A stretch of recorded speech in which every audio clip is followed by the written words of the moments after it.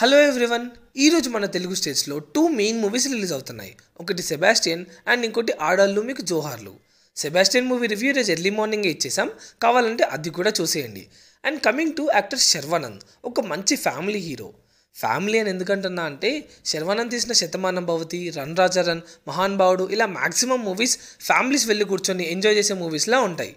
But last five movies కొంచెం out of the box వెళ్ళడానికి try చేసి వరుసగా ఫైవ్ ఫ్లాప్స్ తెచ్చుకున్నాడు. లాస్ట్ మూవీ హిట్ అయింది ఏంటంటే టూ థౌజండ్ సెవెంటీన్లో దసరాకి వచ్చిన మహాన్ భావుడు అనే మూవీ. ఇప్పుడు వస్తున్న ఆడళ్ళు మీకు జోహర్లతో ఆ ఫ్లాప్ స్టిక్ ఎండ్ చేయాల్సిన అవసరం చాలానే ఉంది. ఇక డైరెక్టర్ కిషోర్ తిరుమల గురించి మాట్లాడితే స్టోరీ ప్రిడిక్టబుల్గా ఉన్నా కూడా స్క్రీన్ ప్లే డైలాగ్స్ అండ్ ఎమోషన్స్తో మెప్పిస్తాడు అనే థాట్ అయితే ఉంది. ప్రమోషన్స్ కూడా బాగానే చేశారు. అండ్ ఈ మూవీ కూడా ట్వంటీ ఫిఫ్త్ ఫెబ్లోనే రిలీజ్ అవ్వాలి. బట్ భీమ్లా నాయక్ కోసం పోస్ట్ పోన్ చేసుకున్నారు మరి శర్వాన్న ఫ్లాప్ స్టిక్ ఏం చేశాడా లేదా అనేది రివ్యూలో తెలుసుకుందాం. అండ్ రివ్యూలోకి వెళ్ళే ముందు నా నుంచి ఒక చిన్న రిక్వెస్ట్. అదే అండి మీకు తెలుసు చాలాసార్లు చెప్పాను. ఛానల్ని విజిట్ చేయడం ఇదే ఫస్ట్ టైం అయితే ప్లీజ్ డూ సబ్స్క్రైబ్. అండ్ అలానే ఆ పక్కనున్న గంట సింహాలు కూడా కొట్టండి. మేము అలా వీడియో పెట్టగానే మీరు ఇలా చూసేయచ్చు. ఇప్పుడు స్టోరీ ఏంటంటే చిరంజీవి అదే మన శర్వా అన్నకి ఏది కావాలన్నా వాళ్ళ ఇంట్లో ఉన్న ఆడవాళ్ళు అదే మదర్ పిన్ని పెద్దమ్మ సెలెక్టివ్ డిసిషన్ తీసుకుంటారు. వాళ్ళ డిసిషన్స్ వల్ల శర్వాకి మ్యారేజ్ అవ్వదు. అలాంటి టైంలో రష్మిక పరిచయం అవుతుంది.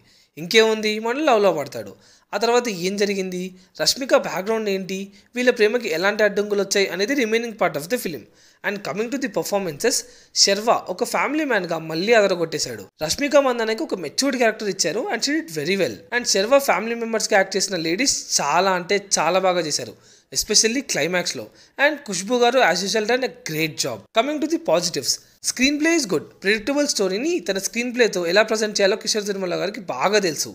He done a very good job ఇంకా డైలాగ్స్ అయితే చాలా అంటే చాలా బాగున్నాయి. Especially emotional dialogues family audience మెయిన్గా ఉమెన్ బాగా కనెక్ట్ అవుతారు. ఎమోషనల్ సీన్స్ చాలా బాగున్నాయి. అంటే ఒక జాయింట్ ఫ్యామిలీ ఎలా ఉంటుంది వాళ్ళ మధ్య బాండింగ్ ఎక్సెట్రా ఎక్సెట్రా అంటే చాలా బాగా చూపించారు. ఆడవాళ్ళు అంటే తక్కువ చేసి చూడొద్దు. వాళ్ళు కూడా మగాళ్ళకి ఈక్వలే అనే థీమ్ని బాగా చూపించారు. And coming to the negatives yeah as usual Kishore తిలమన మూవీస్లో stories predictable but comedians like Satya and Vennela కిషోర్ని పెట్టుకుని కొంచెం అంటే కొంచెం కూడా కామెడీ జనరేట్ చేయలేకపోయారు. మూవీ అంతా ఫ్లాట్గా వెళ్తుంది. కొన్ని కామెడీ సీన్స్ పెట్టుంటే ఇంకా బాగుండేది. ఇంక ఈ సినిమాకి ఏదైనా డ్రాబ్యాక్ ఉంది అంటే అది మ్యూజిక్ బై డిఎస్పి అసలు కొంచెం అంటే కొంచెం కూడా బాగా అనిపించదు.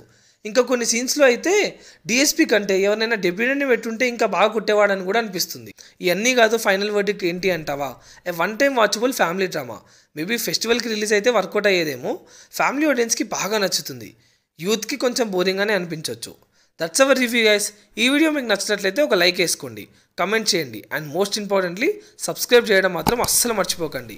ఇలాంటి మరెన్నో రివ్యూస్తో ఎవ్రీ వీక్ మేము ముందుకు వస్తాం. Thank you signing off T movies for you